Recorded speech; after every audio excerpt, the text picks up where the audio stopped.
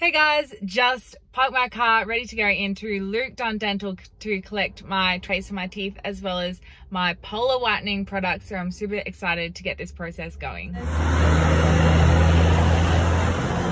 Just heading into the dental practice now. Just went and picked up my Pola whitening kit from Luke Dunn Dental in Cairns. They're a really great bunch, super friendly and they're super supportive. So I would definitely recommend. So this is my little goodie bag here. Got a few cool things. Of course, my Pola whitening.